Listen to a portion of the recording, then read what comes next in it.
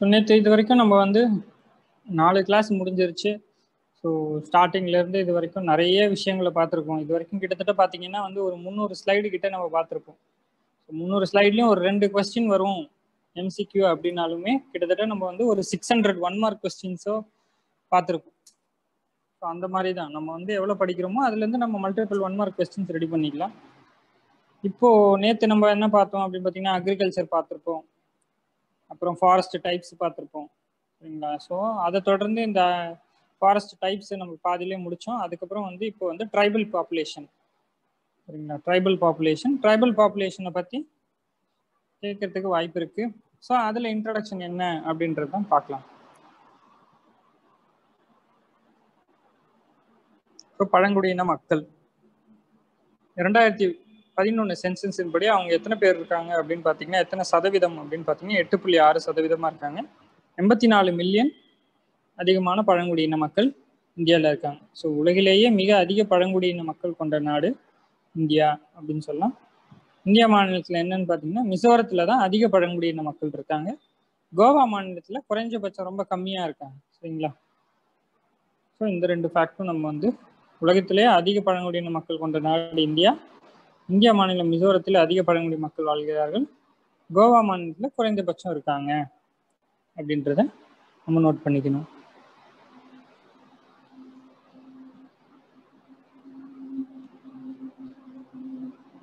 அடுத்து இப்போ வந்து இந்தியாவில் என்ன பழங்குடியின மக்கள் இருக்காங்க? அவங்களோட பெயர்கள் குறிப்பிட்டே வந்து கேள்விகள் வரும். இப்போ நம்ம வந்து இங்கே போட்டிருக்கோம் பாருங்க. பில்ஸ். ராஜஸ்தான் பிரபலமான வில் மனிதர்கள் என அறியப்படுவார்கள். சரிங்களா? பில்ஸ் ராஜஸ்தான் பிரபலமான வில் மனிதர்கள். ஸோ கொஸ்டின் வந்து வில் மனிதர்கள் என்று அறியப்படும் பழங்குடியின மக்கள் யார் அப்படின்னு கேட்டாங்கன்னா பில்ஸ்ன்னு போடணும். பில்ஸ் எங்கே இருக்காங்க? ராஜஸ்தானில் இருக்காங்க. ஸோ இதை நீங்கள் ஞாபகம் வச்சுக்கணும். ராஜஸ்தானிடம் அதே மாதிரி இவங்க வந்து வில் மனிதர்கள் அப்படின்னு சொல்லலாம். அடுத்து பார்த்தீங்கன்னா கோன்ஸ் அப்படின்னு சொல்லுவாங்க. கோன் இந்தியாவில் அதிக எண்ணிக்கையில் இருக்கும் பழங்குடி யார் அப்படின்னு கேட்டாங்கன்னா கோந்த் கோந்தின மக்கள் தான் அதிக அளவில் இருக்காங்க. அடுத்து சாந்தலர்கள் சந்தால்ஸ் அப்படின்னு சொல்லுவாங்க. சந்தால்ஸ். சரிங்களா? இவங்க வந்து மூன்றாவது பெரிய பழங்குடியின மக்கள் அப்படின்ட்டு ஸ்டேட்மெண்ட் வந்து கொடுத்துருக்காங்க. ஸோ அவங்க ஒரு ட்ரைபல் பாப்புலேஷன் அப்புறம் முண்டா அப்படின்னு சொல்லுவாங்க. முண்டா ட்ரைப் ஸோ ஜார்க்கண்டில் முக்கியமாக அவங்க வசிக்கிறாங்க. மற்றும் மேற்குவகம் பீகார் இந்த மாதிரியான பகுதிகள்லையும் இந்த முண்டா ட்ரைப்ஸ் பரவி இருக்காங்க. ஸோ ப்ராமினண்ட்டாக எங்கே இருக்காங்கன்னு பார்த்தீங்கன்னா ஜார்க்கண்ட் தான் நம்மளுக்கு முக்கியம். சரிங்களா? ஸோ இந்த மாதிரி வந்து இவங்கெல்லாம் கொஞ்சம் இம்பார்ட்டண்ட்டான ட்ரைப்ஸ் நம்ம இவங்களெல்லாம் இந்த சாந்தால்ஸ் அப்புறம் இந்த முண்டாஸ் எல்லாமே நம்ம எங்கே பார்த்துருப்போம்னா ஹிஸ்ட்ரியில் பார்த்துருப்போம்.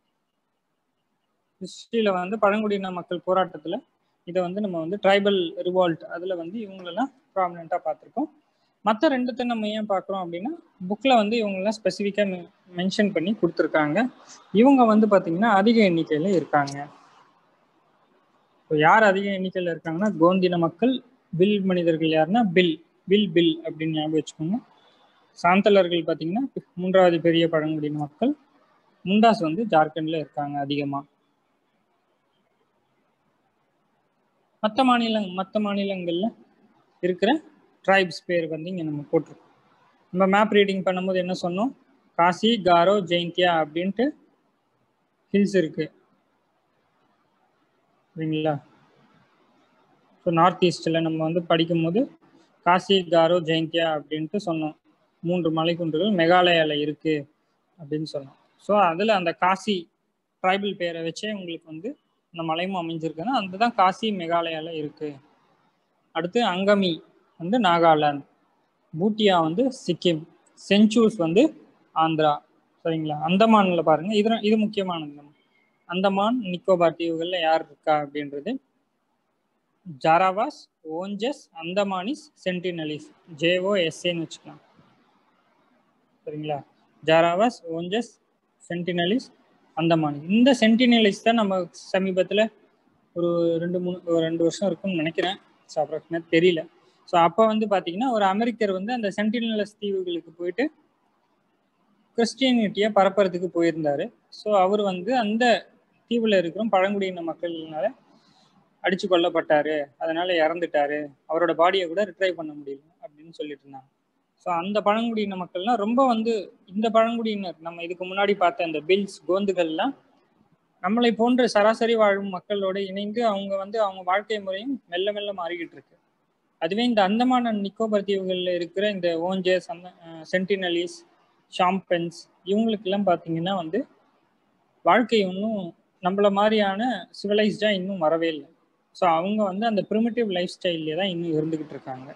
சரிங்களா?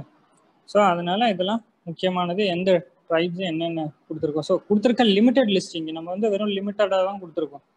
எது இம்பார்ட்டண்ட்டோ அது மட்டும் கொடுத்துருக்கோம். இதை வந்து நீங்கள் படித்து வச்சுக்கணும். காசி மேகாலயா அங்கமி நாகாலாந்து பூட்டியா அப்படின்னு சொல்லுவோம். சிக்கிம் சென்ச்சூஸ் வந்து ஆந்திரா. அந்தமான் வந்து ஜாராவாஸ் ஓஞ்சஸ் அந்தமானிஸ் சென்டினலிஸ் நிக்கோபாரில் வந்து ஷாம்பன்ஸ் இருப்பாங்க. ஸோ இன்டர்சேஞ்ச் பண்ணி கன்ஃபியூஸ் பண்ணிக்கூடாது. ஷாம்பன்ஸ் எங்கே வரும்? சென்டினல்ஸ் ஷாம்பன் வந்து நிக்கோபார். சரிங்களா? இப்போ தமிழ்நாட்டில் பழங்குடியினர் எத்தனை இருக்காங்க? அப்படின்னு தமிழ்நாட்டு பழங்குடியினரை நம்ம பார்ப்போம். ஸோ தமிழ்நாட்டில் வந்து பழங்குடியினர் பார்த்தீங்கன்னா ரெண்டாயிரத்தி பதினோராம் ஆண்டு மக்கள் தொகையின் கணக்கின்படி ஏழரை ஏழு லட்சத்தி தொண்ணூற்றி நாலாயிரம் பேர் கிட்ட இருக்காங்க சரிங்களா? அப்ராக்சிமேட்லி எயிட் லேக்ஸ் இருக்காங்க. அடுத்து தமிழ்நாட்டில் சுமார் எவ்வளோ பழங்குடியின மக்கள் இருக்காங்க அப்படின்னு பார்த்தீங்கன்னா முப்பத்தெட்டு பழங்குடியின மக்கள் இருக்காங்க. ஸோ இவங்க முக்கால்வாசி பார்த்தீங்கன்னா வன நிலங்களை சார்ந்து இருக்கிறாங்க. விவசாயிகளாகவும் இருக்காங்க சரிங்களா? ஸோ இந்த ஃபேக்ட் நம்ம ரெண்டு ஃபேக்ட் ஞாபகம் வச்சுக்கணும். முப்பத்தெட்டு பழங்குடியினர். கிட்டத்தட்ட எட்டு லட்சம் பேர் வந்து தமிழ்நாட்டில் பழங்குடியினர்களாக இருக்காங்க. இப்போ அதே மாதிரி நம்ம எப்படி இந்தியா முழுதும் இருக்கிற பழங்குடியினர்கள் முக்கியத்துவம் முக்கிய பழங்குடியினர் பேர் பார்த்தோம்னா தமிழ்நாட்டில் இருக்கிறவங்களையும் நம்ம தெரிஞ்சுக்கிட்டா நல்லது. ஸோ தோடர்கள் பார்த்தீங்கன்னா தோடர் இனம் இதில் வந்து பார்த்தீங்கன்னா அவங்க வந்து நீலகிரியில் இருக்கும் பழங்குடியின மக்கள். சரிங்களா?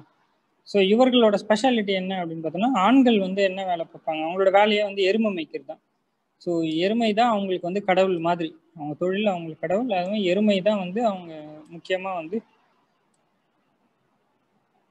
வளர்க்கும் விலங்கு சரிங்களா? ஸோ இவர்களோட குடியிருப்பு ஸ்பெஷல் பார்த்தீங்களா அவங்களோட குடியிருப்பை நம்ம டயக்ராமில் காட்டியிருக்கோம். முன்ஸ் என்பார்கள். எம்யூஎன்டிஎஸ் முண்ட். ஸோ இந்த மாதிரி தான் இருக்கும் அவங்க வீடே. ஆக்சஸ் பார்த்தீங்கன்னா ரொம்ப சின்னதாக இருக்கும். இதில் எப்படி அவங்க வாழ்கிறாங்கன்னு நம்மளுக்கு தெரியல. பட் நீலகிரியில் போனால் நம்ம வந்து அவங்க வாழ்க்கை முறையை தெரிஞ்சுக்கலாம்.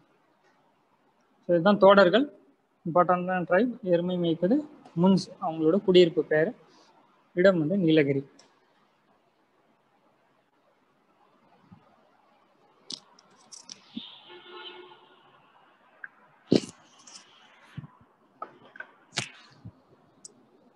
அடுத்து பார்த்தீங்கன்னா படுகர் இன மக்கள். ஸோ படுகர் இனம் வந்து பின்தங்கிய வகுப்பை சார்ந்தவர்கள். சரிங்களா? அவங்கள வந்து பேக்வர்ட் கேஸ்ட் தான் பண்ணியிருக்காங்க. பட் அவங்களும் ஒரு ட்ரைபல் பாப்புலேஷன் எங்கே இருக்காங்கன்னா அவங்களும் வந்து பரவி இருக்காங்க நீலகிரி சைடில் ஸோ அவங்களோட இமேஜ் போட்டிருக்கோம். சரி உங்களுக்கு ஞாபகம் இருக்கும் அப்படின்றதுக்காக. அடுத்து பார்த்தீங்கன்னா கோட்டா இன மக்கள்.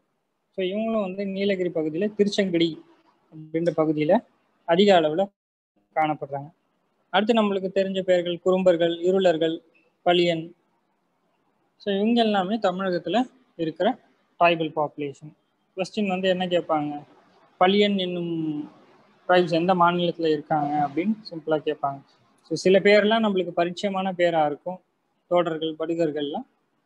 குறும்பர்கள் இருளர் பாலியன் கோட்டாஸ் இது எல்லாமே வந்து நம்ம படித்து தெரிஞ்சு வச்சுக்கணும்.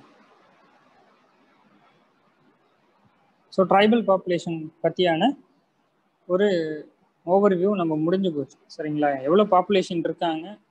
என்னென்ன ட்ரைப்ஸ் வந்து இம்பார்ட்டண்ட்டாக இருக்காங்க அப்படின்றது. ஸோ இந்த ட்ரைப்ஸுக்கு வந்து முக்கியமான சட்டம் என்ன அப்படின்னு பார்த்தீங்கன்னா இந்த ஃபாரஸ்ட் ரைட்ஸ் ஆக்ட்னு சொல்லுவாங்க. ஃபாரஸ்ட் ரைட்ஸ் ஆக்ட் அப்படின்னு. சரிங்களா? வன உரிமை சட்டம் ரெண்டாயிரத்தி ஆறு. இந்த சட்டத்தின்படி என்னென்னா பல நாட்கள் வாழ்ந்து காடுகளில் வாழ்ந்துட்டு இருக்கிறவங்களுக்கு அந்த காடுகளில் வந்து பயன்படுத்துறதுக்கான உரிமை அந்த நிலத்திற்கான உரிமையை வந்து இந்த சட்டம் வந்து வழங்குது. ஸோ ஃபாரஸ்ட் ரைட்ஸ் ஆக்ட் வந்து ட்ரைபல் பாப்புலேஷனுக்கு ரொம்பவும் முக்கியமான ஒரு உரிமையை வழங்குற ஒரு சட்டம் forest rights act two thousand six